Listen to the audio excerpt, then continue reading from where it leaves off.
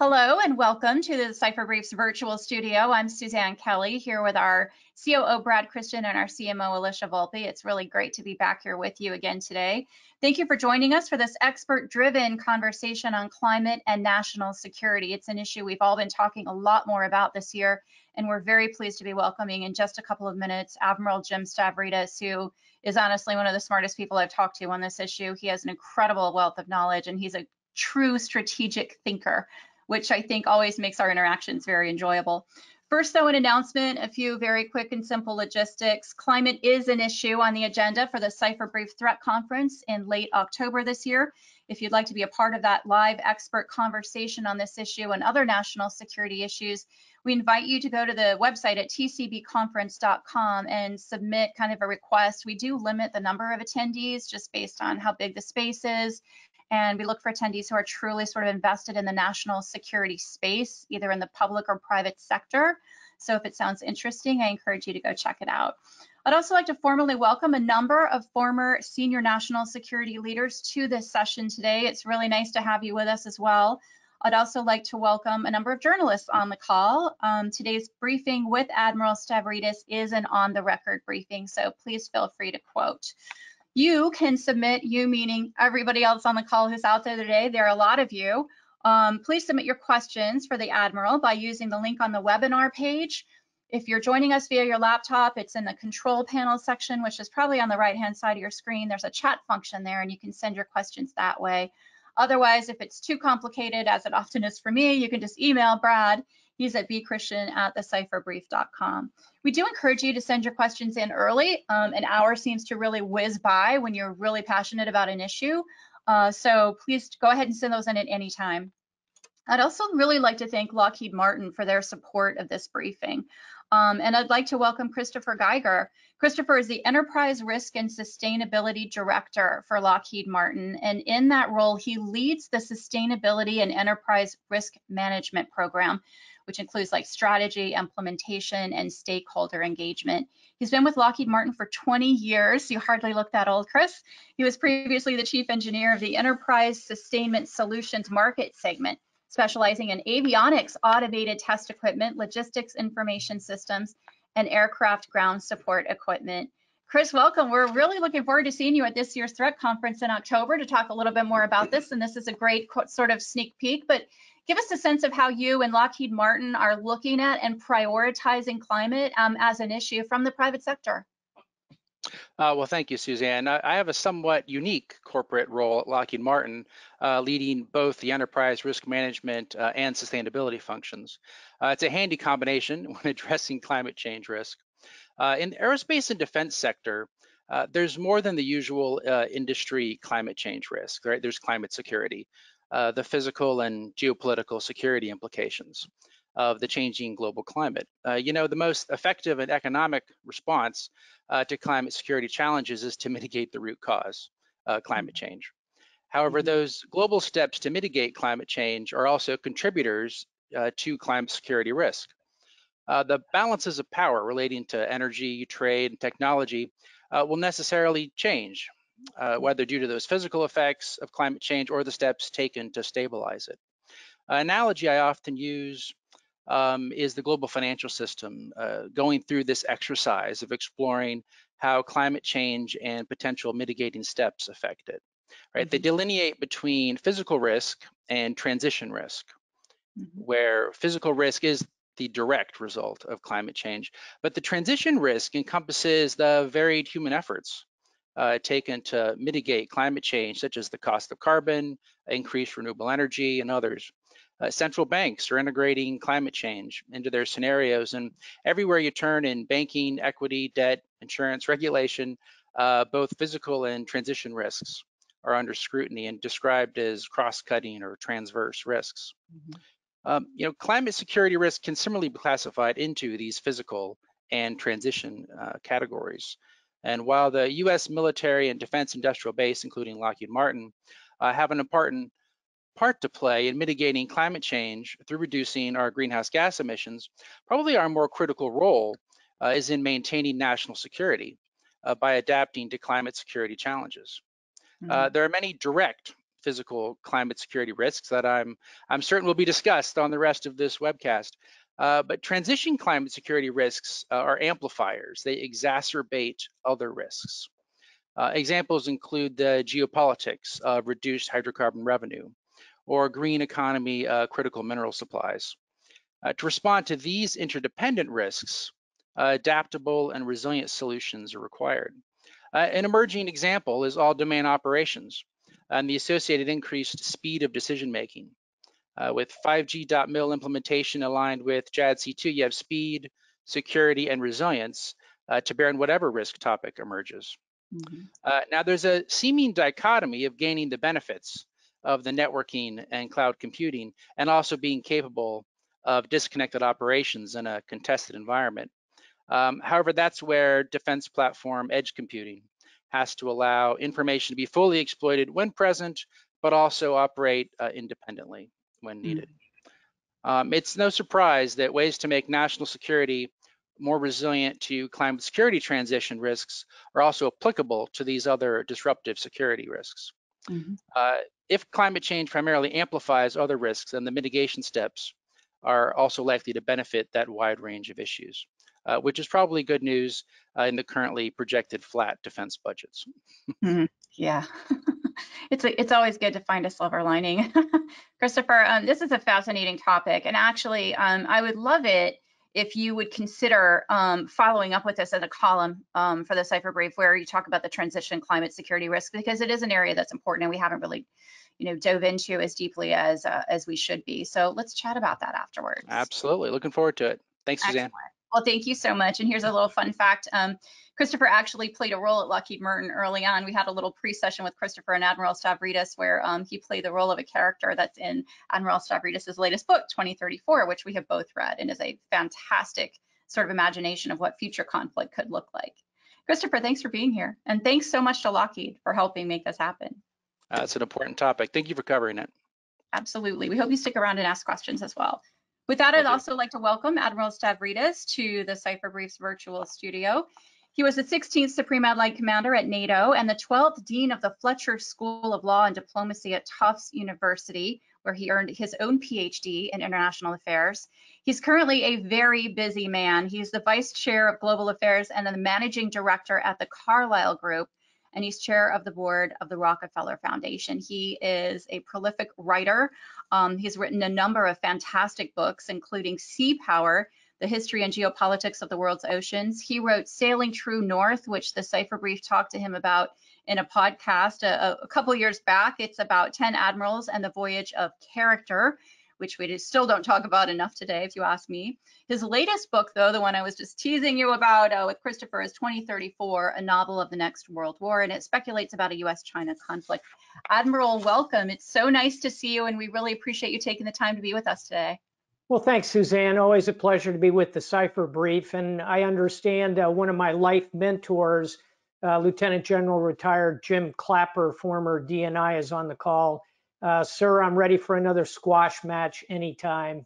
Uh, a great American. I treasure his commentary on CNN and in other locations. And I know he's representative of uh, many friends and colleagues who are listening. So welcome all.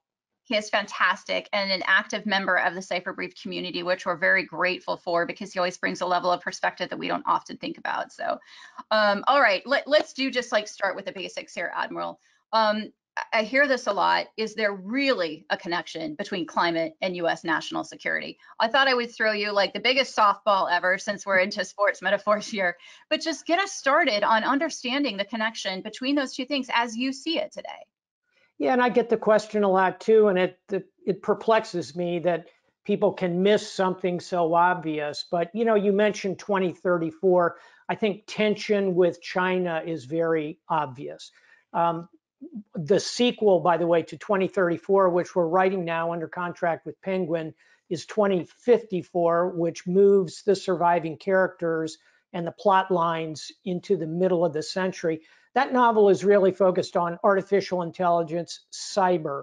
So that's pretty obvious. To me, the most obvious of all, however, is climate. And um, the, the reason it gets short shrift is because, in fact, it's going to be the third novel in what will be a trilogy, 2074. That's Mhm. when the climate comes home to roost, if you will. And I always say about climate, it's kind of one of these problems from hell that you can kind of get by today uh, Mhm. and you look into the distance and it looks pretty bad. And there's a human tendency to say, you know, I got all these immediate problems around me. I'll just wait and kind of solve that one when I get there, you know, in 2074, say. But problem from hell, when you get there, it's too late. And I think many on this audience, anybody who would tune into a conversation about climate knows all that, but I, I want to begin by simply stipulating that. And if you'll if you'll give me just another minute, I'll tick down and then we can dive in on any of these I'd um, love that.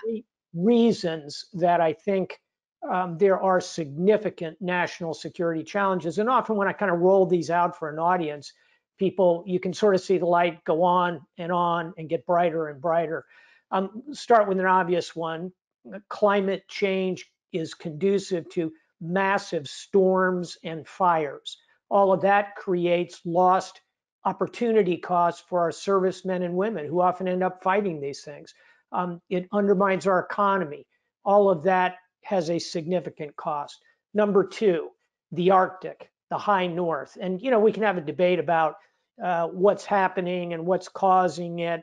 But I'll tell you something as a simple mariner who has sailed the high north and the far south, the ice is melting.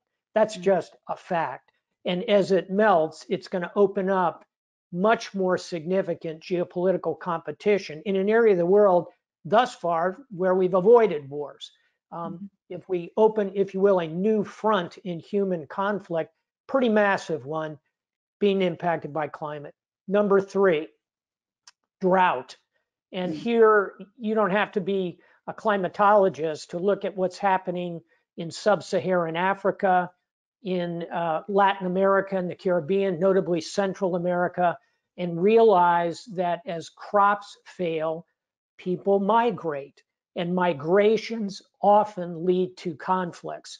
Um, so drought, and again, we can unpackage that in more detail. And then fourth and finally, you know, the four horsemen of the climate apocalypse, I'd say fourth, and you know the admiral's going to say this, it's the oceans. Yeah. And with with all due respect to Al Gore, who likes to say uh, the Amazon is the lungs of the earth, I don't think so. The lungs of the earth are the oceans, in the sense that 60, 70% of the oxygen we're breathing comes from photosynthesis in the sea. So as all the climate change affects uh, chemistry, pH, above all temperature, um, as well as the impact on rising sea levels. Um, all of that I'll bundle under the oceans. Suzanne, those are uh, four, I think, pretty obvious, increasingly dangerous trends that have my full attention as someone who thinks a lot about national security. So let's dive into those because I think they're excellent um, sort of points for this conversation. And let's just start right up top with your first one the sort of opportunity cost um, that's involved when your forces aren't ready to fight things that were unforeseen um, that may sort of happen as quickly as climate is causing things to happen with these disasters and storms and wildfires that you mentioned. How do you see um, climate impacting military readiness, let's say, over, and I, am not going to even go out to 2074 um, or Oh, no, 2054, over like the short term, like right now, what do we need to be looking for that are indicators that we really have to make changes quicker than we thought we did?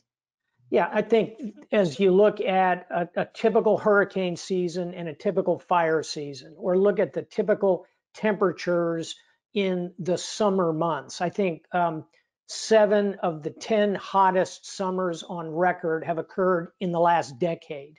Um, all of these are just simply obviously rising. Now, you will find some climate deniers or climate naysayers or contrarians who will say, oh, you know, we're in a cycle and it'll revert. And they may be right. I, I just don't think so because 95% plus of the climatologists and scientists who actually study this uh, feel pretty strongly that what we're seeing is not episodic. So if you buy the premise, as I do, that we're going to see more and fiercer storms. And by the way, I'm coming to you from my home state of Florida. Um, we see this in real time down here. And if yeah. you think back just uh, three years ago, we had a, a triple whammy hurricane that hit Florida, Puerto Rico, and the Gulf Coast of the United States. One, two, three. Um, this was uh, Maria. You, you'll remember the names. In any event, these three storms hit, and it stretches thin the fabric of the responders. So FEMA obviously contracts a lot of this, but at the end of the day, National Guard, Navy ships, um, all of them are pulled into this. What happens to their training cycle when it's interrupted so that they can go off correctly and respond to these disasters? That's what I mean by the opportunity cost. All of that, Suzanne, is before we, we even get to the physical kinetic damage to, for example, Department of Defense facilities. Eglin Air Force Base on the Gulf Coast was flattened three years ago and rebuilt by my good friend Heather Wilson, then Secretary of the Air Force, at the cost of you know tens of billions of dollars.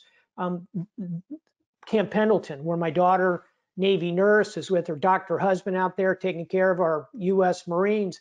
Um, every fire season, they would watch these fires come closer and closer on Camp Pendleton. So there's real physical cost to all of this um, in addition to the time lost in the training. And there, there's no um, obvious solution to this in terms of you can't, you know, kind of rebalance the training cycle and just make up that time.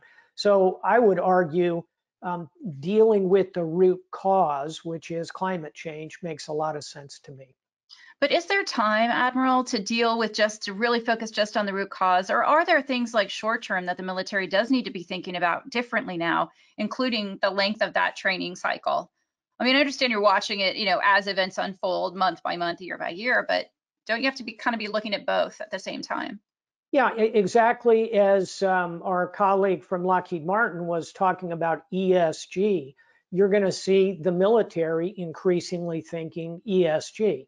So let's let's focus on the environmental aspect of that.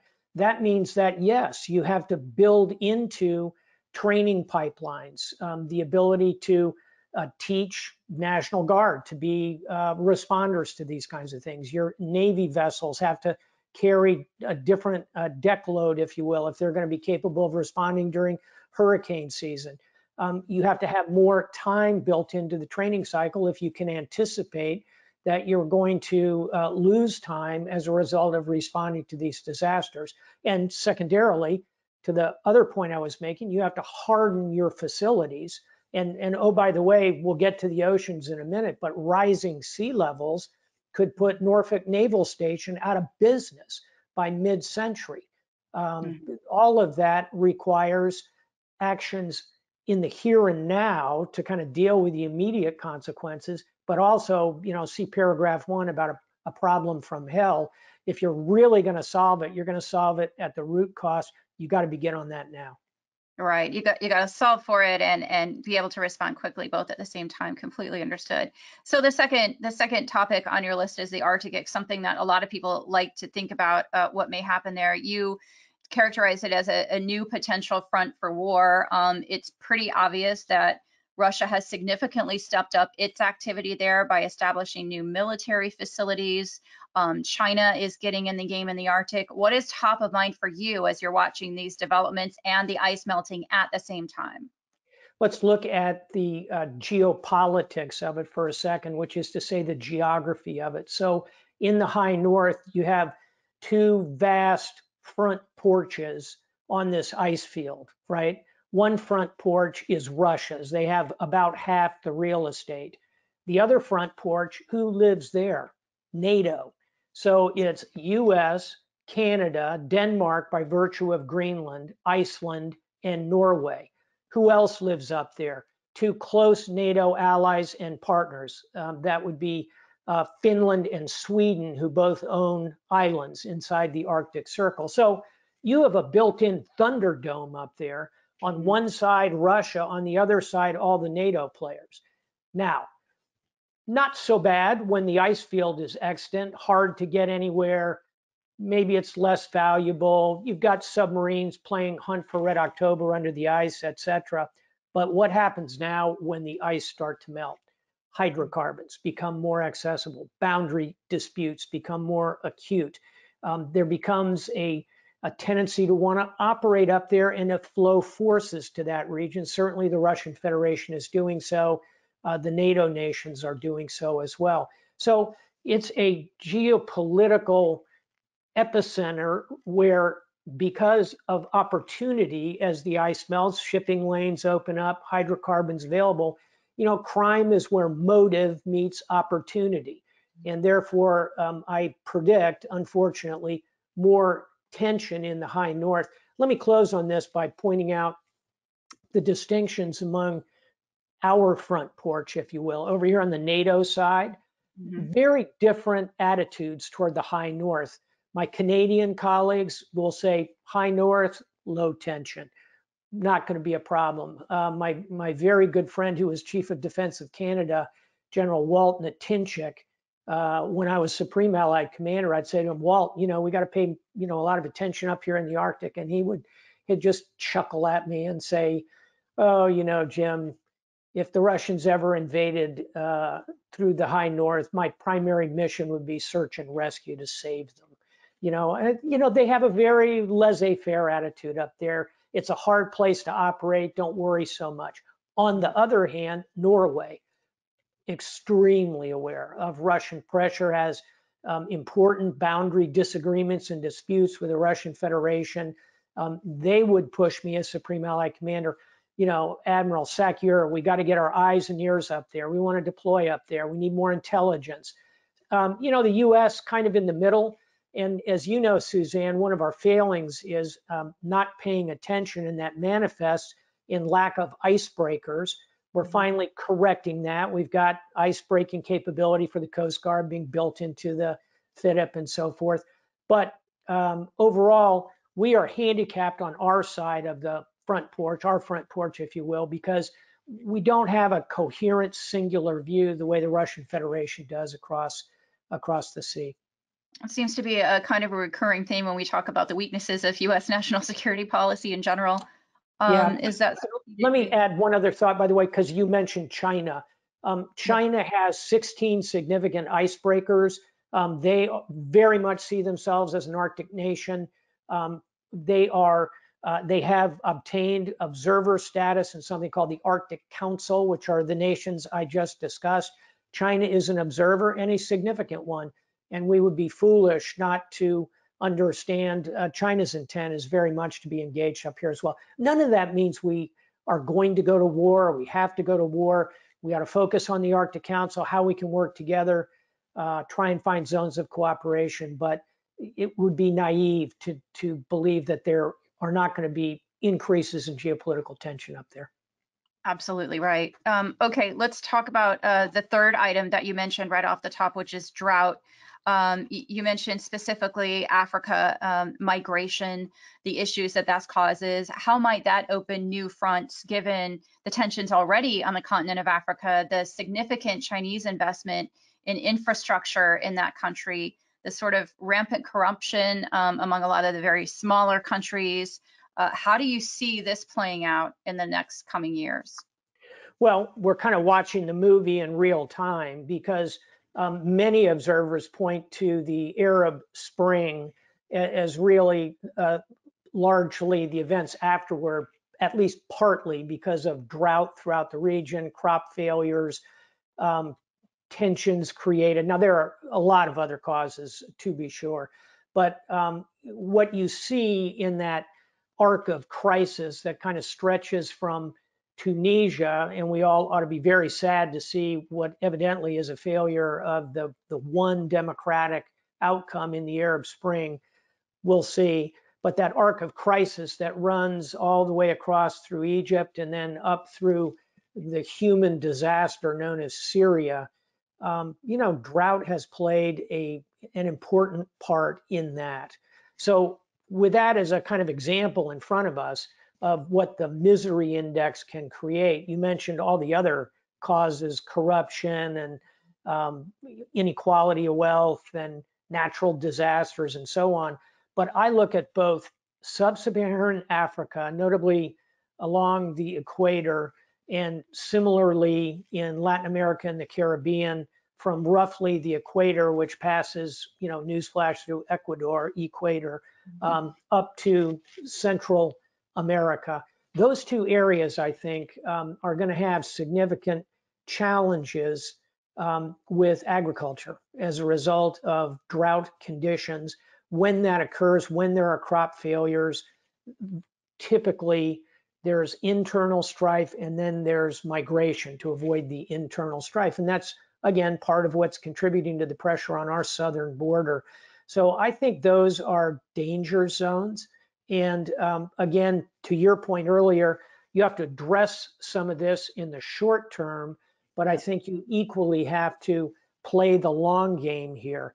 And, and by the way, I'll, I'll point out, um, you know, there are going to be winners and losers in the world of climate change um, as follows arable land will move north. I mean, there'll be potentially huge swaths of the planet that become arable land. The problem is going to be down on the equator, which is highly populated.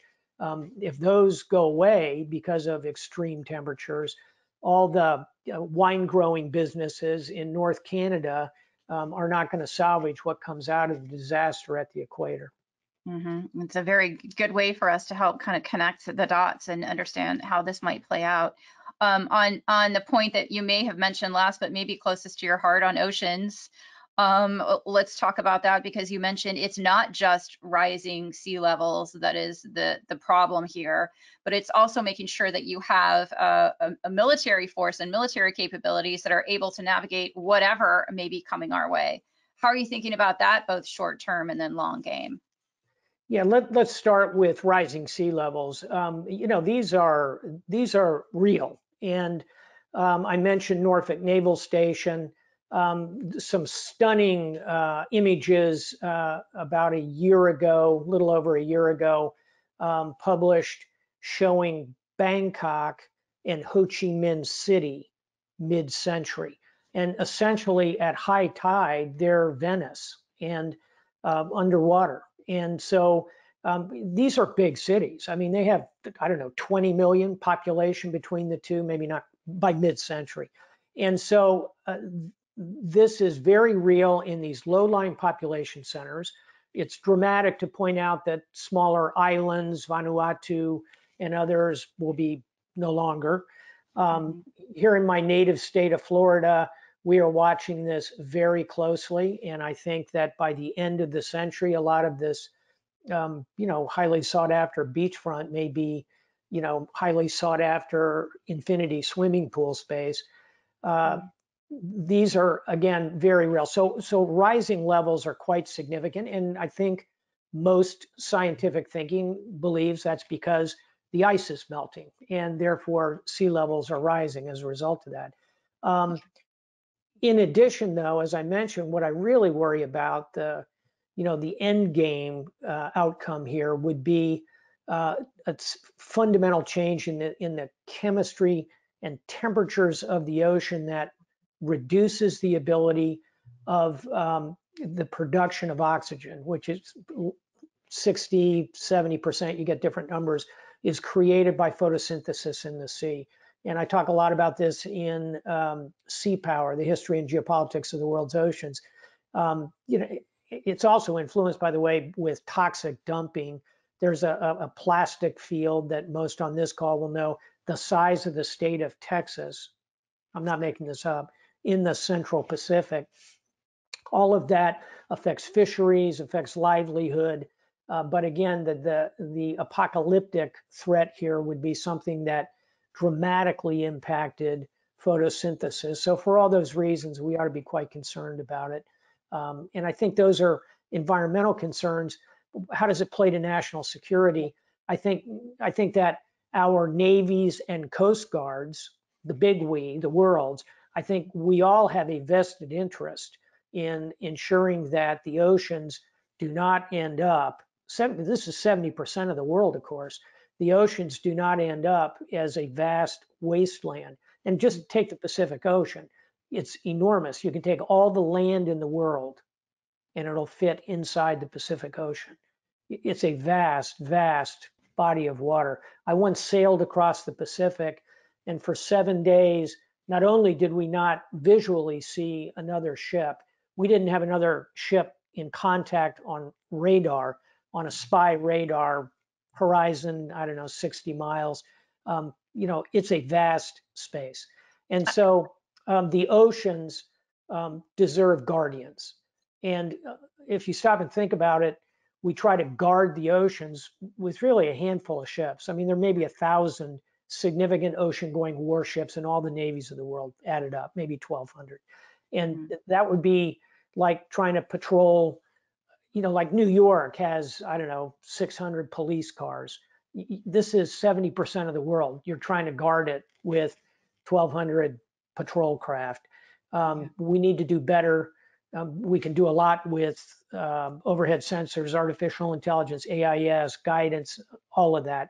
But um, the guardianship of the oceans, I think, is going to be a, a significant project for navies. Again, the first thing I talked about, opportunity cost. Um, all of that plays into national security. I think that's an excellent point and another one well worth following up on. Perhaps we could do for a future um, TCB briefing as well on that guardianship of the oceans. Um, let me get to a couple of questions here from other folks because um, apparently I'm hogging up all the time.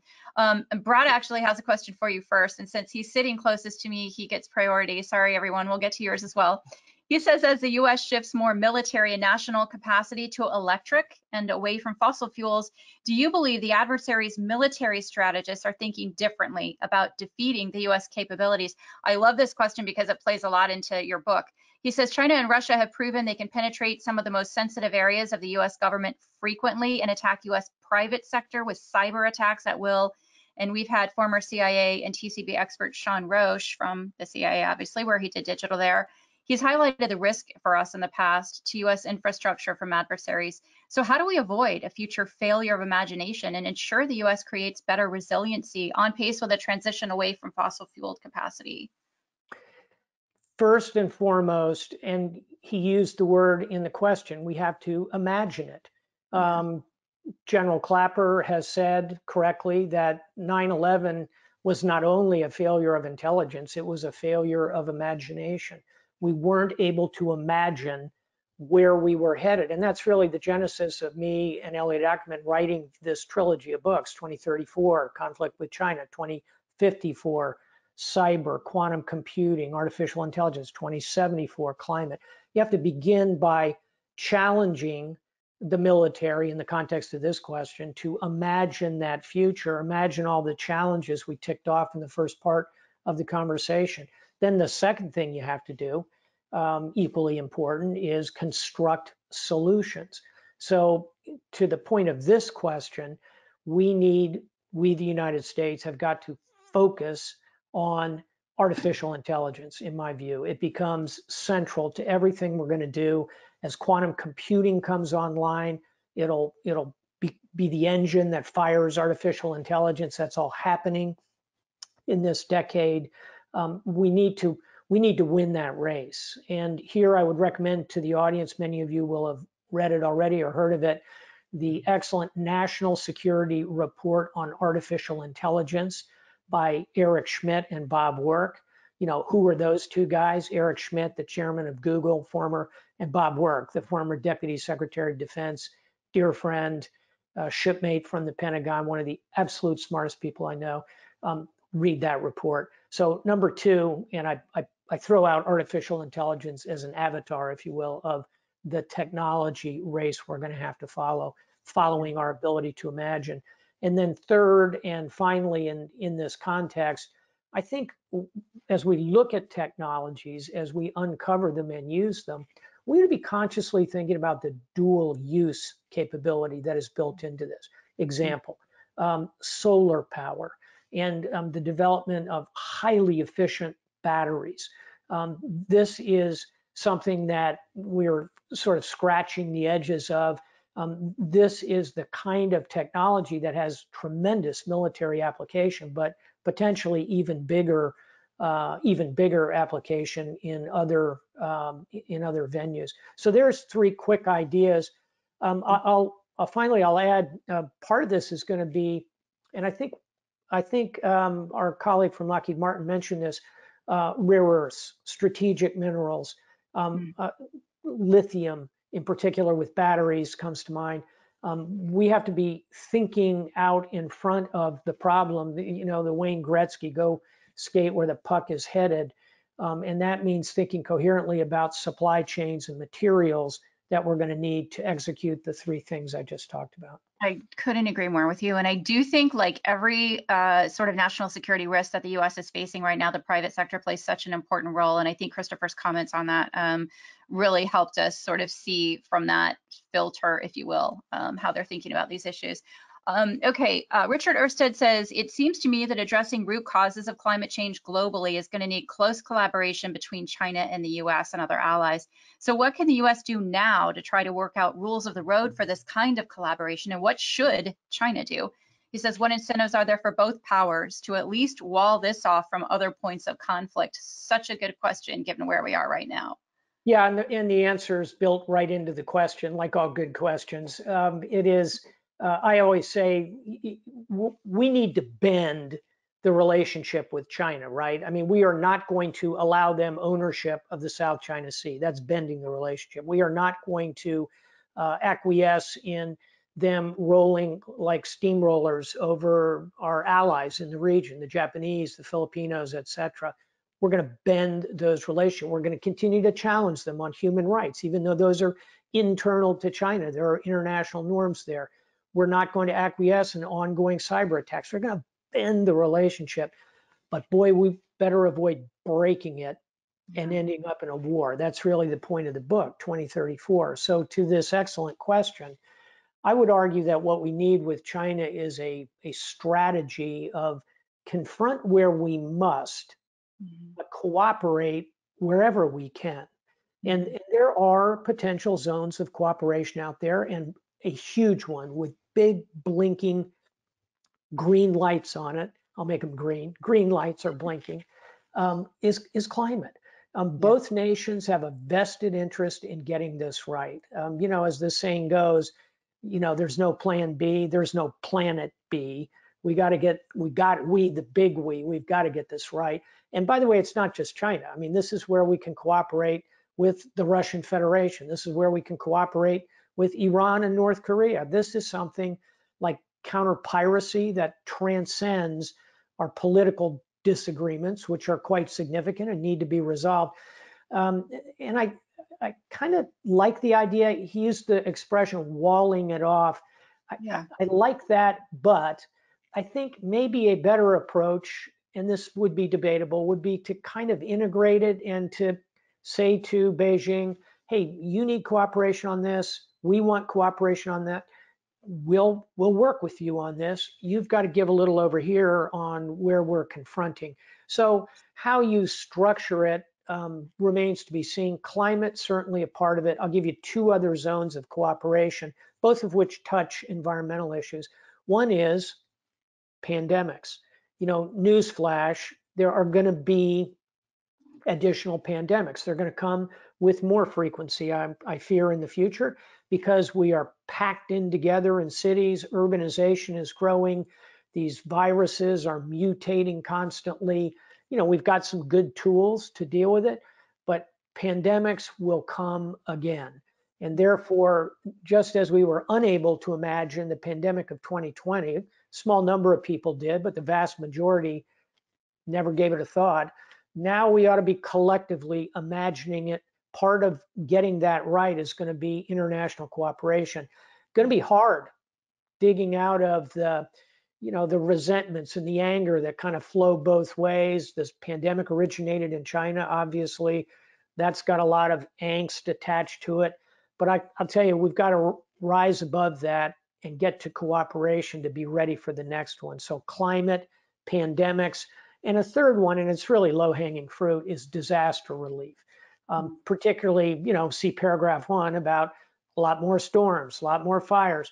Uh, can we work together? The United States has two big, beautiful hospital ships. Everybody got to get a look at them early in the pandemic, Mercy and Comfort.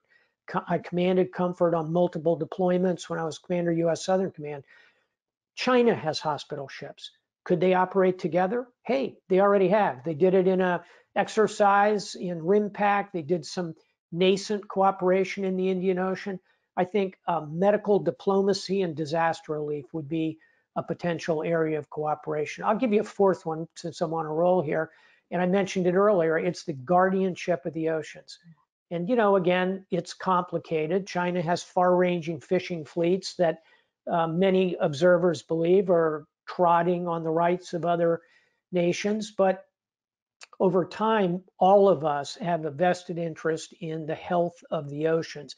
Could our coast guards work together? Another potential zone. So point being, confront where we must, cooperate where we can, uh, and yes, climate will be, I think, the best bet of doing that. I think if there's one person, Admiral, that I don't uh, want to be right now, it would be John Kerry, who the president's special envoy on this, because he's got to figure out uh, how to create that roadmap on where you work with China and, and where you don't sort of wall things off or do you integrate. He's got to be the one to come up with that formula. He now. really, he really does. And let me give you a snapshot of Senator Kerry, who I, I know quite well from testifying uh, Senate Foreign Relations days. And then when I was dean of the Fletcher School, he had a very close relationship with uh, Tufts and with the Fletcher School. And I'll give you a snapshot. Um, three years ago, maybe two years ago, um, I was at a, a, relatively small lunch in uh, Munich at the Munich Security Conference, and you know we were going through the usual uh, selection of, of, national security concerns. Everybody had all the time, you know, the invasion of Ukraine and what are we going to do about North Korea and uh, the usual basket.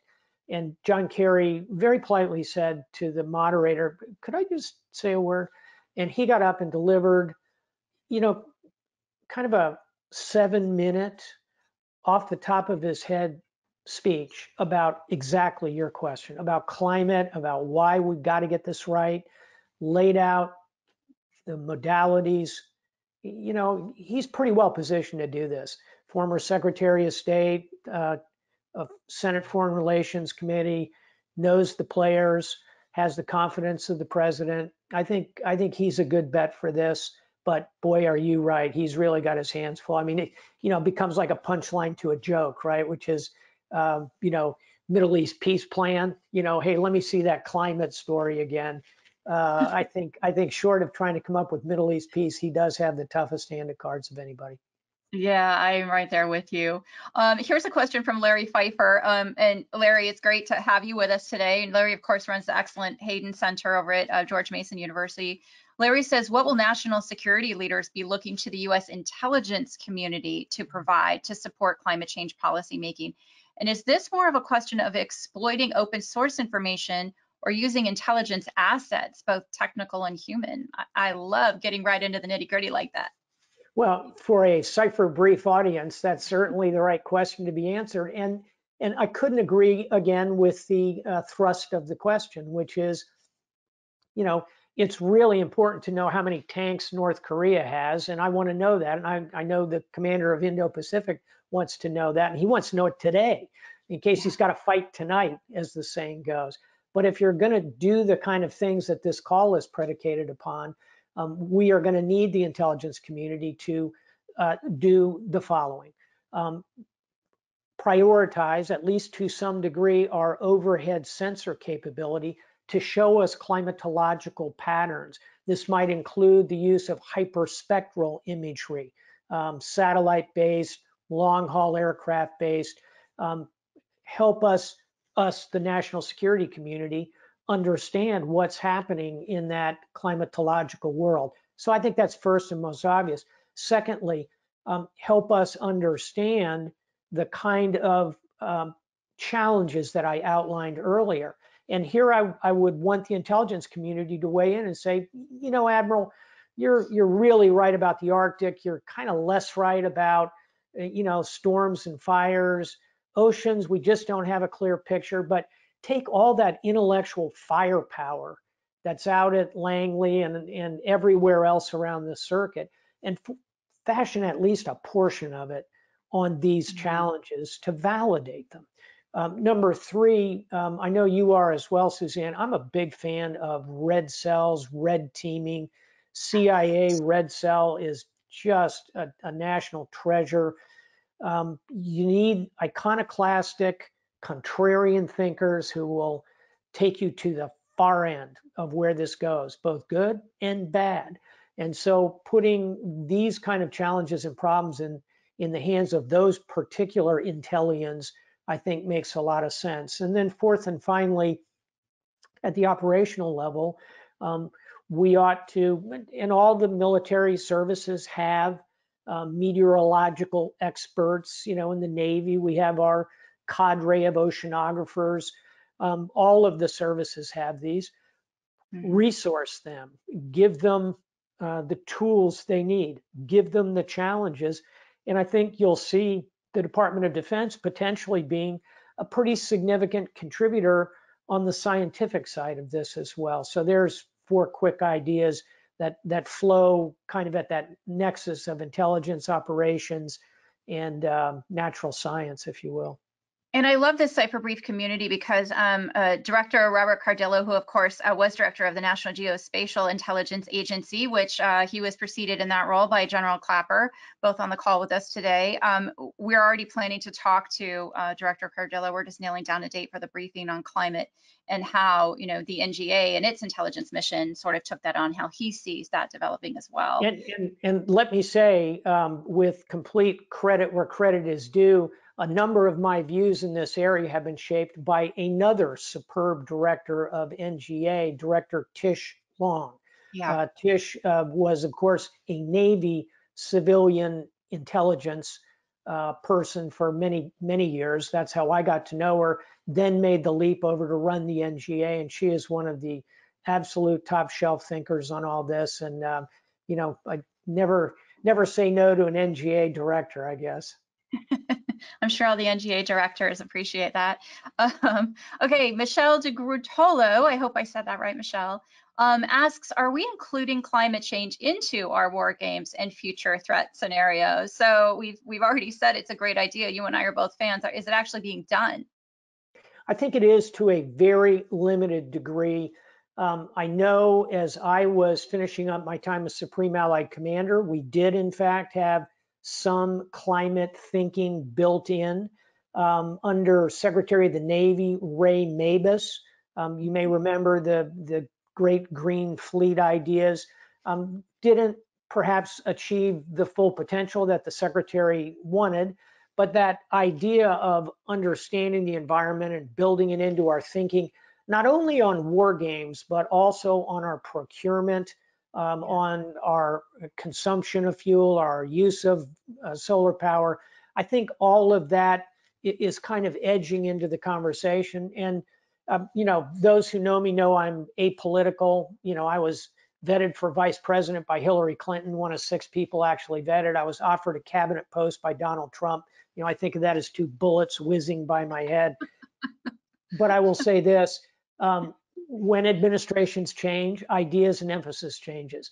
And so going from the Trump uh, team to the Biden team, you're going to see environmental ideas come in more into the slipstream of conversations, uh, both on the procurement side and on the operational side. So short answer, yes, and I would buy that stock. I think it's going to go up over the next four years. Yeah, I appreciate you saying that on the politics side because there are a number of experts who we have and we work with who don't agree always from a political perspective, who agree a lot on the national security issues that we're facing. And it's a place where we can come to the table together uh, and actually do good things. And I'm just so grateful that we have that kind of leadership from folks like you and others uh, that can strip the politics away when needed. And it's clearly needed. Um, so let me just come to you now. I mean, I can't, I told you an hour was going to go by like really fast. Um, and there's so much more that we can follow up on here, but I think you've just given us some really great overview of kind of how you see this threat where it is right now, what our long-term strategy needs to be, but also some of the things to think about and sort of helping to mitigate what we're facing right now and, and be prepared um, for what might be, you know, a little closer than we're comfortable with as we're waiting for your next novel. Um, but let me ask you, um, just for some closing thoughts uh, today, you know, as, as We have a number of folks from uh, all sorts of industries on the call with us today. We've got finance, we've got critical infrastructure, we've got allied partners from around the world on this call today. Just leave us with a few kind of closing thoughts about what we should keep in mind when it comes to climate near term. Yeah, let me actually, if I can, structure it uh, strategic, operational, and uh, tactical. And I'll, I'll do those in reverse order. I think tactically, um, we just need to be ready to respond to the kinds of short-term tactical disruptions that we have discussed here. So storms, fires, uh, training our military to do that. Um, I, I, think all of that is is vitally important and um, and is is a very real consequence of, of climate change um, operationally. So here I mean broad area operations going out to sea. I think um, this is where industry can really help the most um, in the relatively short term, and that's in pursuing um, technologies that are climatologically responsible. Um, so more solar, more wind, um, better battery storage we've talked about, um, pollution uh, reductions, sensors that allow us to see when others are polluting, um, overhead capability. Again, I mentioned spectral imagery, um, that ability to uh, to really discern what's happening on the surface. I think all of those are kind of operational sorts of things. And tied to that is um, the specifics of, and this kind of is on the, the bridge between tactical and operational, but it's, you know, the Department of Defense is the largest organization in the world. You know, it's a 700 plus billion dollar budget. It's, I don't know, two and a half million people. It operates all around the world. It burns a lot of fuel it turns on a lot of lights. I mean, you know, there's a, um, a, we need technologies that help us conserve that, and we need to teach our people about it. So that's kind of the tactical operational blend. Strategically, I think is a different conversation. This is um, how do we begin to shape the geopolitics of the world so that this does become a leading cause of cooperation. I mean, this is, you know, we want to save the planet, right? But we also want to avoid a war on the planet. And a pretty good way to avoid wars, as I said earlier, is to find zones of cooperation. This is a significant one potentially. And so um, leading, and, and here I applaud the Biden team, day one coming back into the Paris Climate Agreement, makes a lot of sense. Um, teaming with China in particular to provide leadership in that zone makes a lot of sense. Um, strategically, shaping the geopolitics so we can have cooperative zones, I think, is our our best hope uh, long term for the planet. And then I'll just close by perhaps the obvious co comment, which is, you know, this is everybody's business, and um, we we can't just walk away from. We, we say in the Navy, you know, people perhaps don't know this, but basically everybody assigned to a ship is a trained firefighter. Did you know mm-hmm. that? Everybody on a ship's crew goes through a three-day firefighting course, pretty sophisticated one, annual refreshers. We practice it all the time. Sometimes we fail, as in Bonhomme Richard, the terrible fire in the shipyard. But 99 times out of 100, we defeat the fire. But why is that? Why do we do all that training? The answer is because when you're on a ship at sea, if your ship's on fire and it gets out of control, you can't just walk across the street and wait for it to go out. It's yours. And that's kind of climate. It's there is no planet B. And so we've kind of got to get this one right. And that's going to require all the kinds of things we've talked about that in the end go vastly beyond uh, our Department of Defense and our national security community and really are part of a huge global community. But we can play a part, I think a very important part.